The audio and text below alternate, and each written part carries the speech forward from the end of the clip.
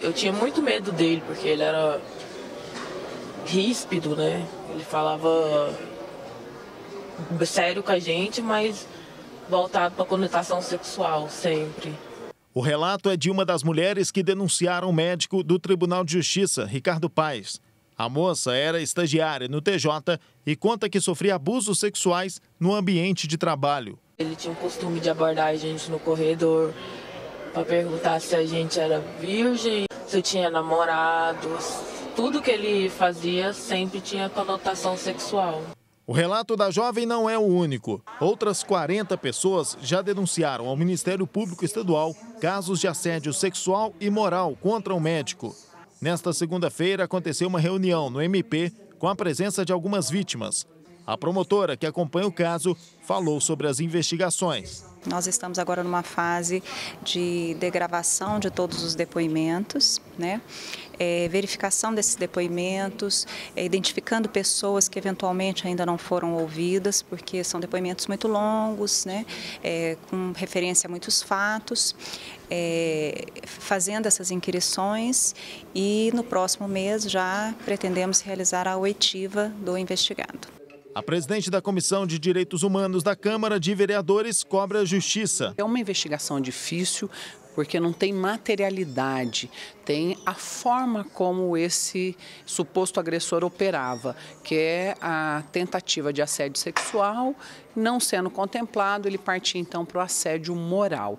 É, são depoimentos que envolvem muita emoção, é, mexer de novo com aquela ferida que muitas vezes não cicatrizou. Eu tenho convicção de que cicatrizar essa ferida é fazer justiça. Na semana passada, o médico foi ouvido pela Corregedoria do Tribunal de Justiça em um procedimento administrativo aberto para apurar as denúncias. As vítimas também prestaram depoimento no TJ, só que se sentiram intimidadas. É que o médico ficava frente a frente com elas o tempo todo. Ele ficou todo o tempo durante o meu depoimento e quando é, a parte dos advogados deles, dele começou a fazer as perguntas para mim, ele mudou de lugar e ficou na minha frente.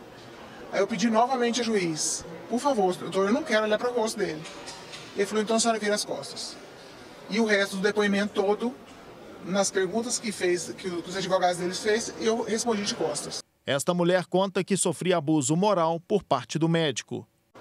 Ele alterou todos os, os, nossos horários, ele impediu que as pessoas tirassem férias que já estavam solicitadas. É, no meu caso, a minha filha operou, ela ela ela estava muito mal, muito doente, vomitando, com dor, e eu faltei o primeiro dia. E ele, inclusive, escreveu um memorando para a diretoria do Tribunal de Justiça, falando que eu tinha levado a minha filha numa suposta consulta às vésperas do carnaval. Só que em decorrência disso, ela internou três vezes, ela operou por duas vezes. Então, assim, ele não mede esforços para destruir, para perseguir, mesmo antes dele ter qualquer prova, mesmo antes de eu protocolar o atestado. A filha desta outra mulher também denunciou Ricardo por abuso sexual. Ele tinha pedido, como minha filha é uma estudante de arquitetura, que ela fizesse alguns projetos de reforma de um apartamento que ele tem de aluguel. Ela até insistia, não, doutor Ricardo, então vamos com meu pai, meu pai é engenheiro civil, ele pode até ajudar melhor nessa reforma, na questão desses, desses...